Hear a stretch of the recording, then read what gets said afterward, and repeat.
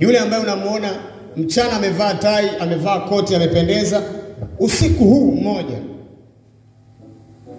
inawezekana anatembea na wasichana zaidi ya kumi. Wewe ni wa mchana, wapo wenzako wa usiku. Yule binti unayempenda wewe sasa hivi inawezekana ana wanaume zaidi ya wanne watano. Sasa inawezekana unayempenda ndio amehusiana na huyo mwingine.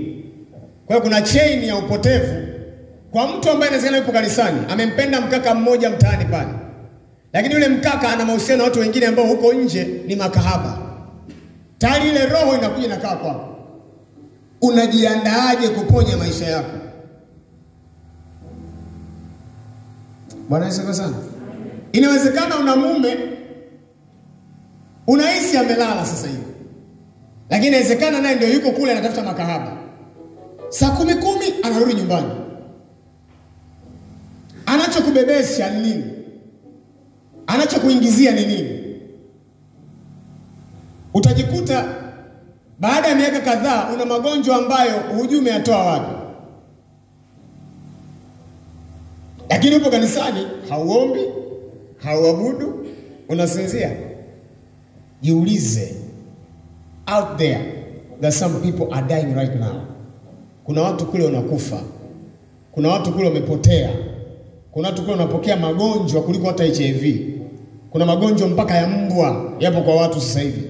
Jiulize, mtoto mdogo wa miaka kumi na nane, kumi na saba, kumi na sita sasa hivi amelewa, anajiuza pale nje. Jiulize, huyo mpenzi wake ni mkubwa na watoto kama yeye. Kuna Mkristo haombi, kuna Mkristo anaona ibada ni kawaida. Bwana sana. Haleluya.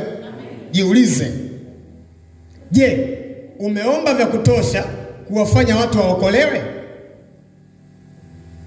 Umeabudu vya kutosha kuwafanya watu watoke kule wafuate kanisani? Tumetembea vituo viwili vitatu, magari ambayo yamejaa pale sasa hivi ambako watu wanajiuza ni mengi kuliko idadi ya waumini wote wa kanisani. Watu wanajiuza.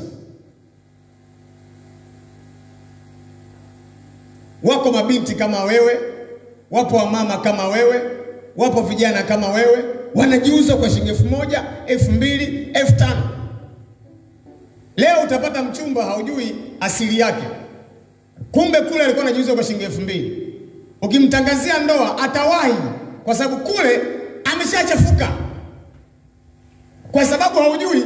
Unasema nimepata mwanaume, nimepata mchumba, anataka kunioa, kumbe kawaida yake ilikuwa ni kule. Anakuja kwako akiwa ni kahaba wa kiume, anakuja kwako kama kahaba wa kike. Unaponea wapi? Saa ngapi utapona? Bwana Yesu sana. Haleluya. Inawezekana huyo mtu leo anapotokea maishani mwako huwezi kujua kama na kitu kama hicho, lakini ndio yule dada mzuri akija kesho amependeza, haujui kama ni yeye, lakini usiku mmoja amejiuza kwa wanaume wangapi? Huyo mwanaume unayempenda sasa hivi yuko kule ananua makahaba, kesho asubuhi yuko ofisini amepiga tai. Ndio yule ambaye anakutetemekesha, unachanganyikiwa, una, una, una nimepata mwanaume, lakini mwenzako usiku mmoja yuko anajiuza. You don't pray, hauombi. Kama sio wewe, mwanao miaka mitano ijayo atakuwa nani? Inawezekana atampenda mwanamke ambaye tayari ametoka kwenye lana kama hizo. Una kizazi bado utazaa. Jiulize, baada ya miaka kadhaa, mtoto wako kama leo watu wanajiuza, watakuwaje watoto wako baadaye? Umeomba mara ngapi? Bwana Yesu asifiwe. Haleluya. Haleluya. Leo unaweza kusema mbona sio mimi? Atakaye kuja maishani mwako anafanya hiyo tabia. Hapo tumezungumzia wadada na wakaka, hatujazungumzia mashoga, hatujazungumzia wanaosagana, hatujazungumzia watu wanaouza madawa. Hao wote ukitanao mchana huwezi kuwajua. Atakudanganya kwa elfu moja kwa elfu mbili anajiuza kule, amebeba lana kiasi gani? Natamani kama we Mkristo, hebu kaa chini, jifunze kumtafuta Mungu ukomboe familia yako.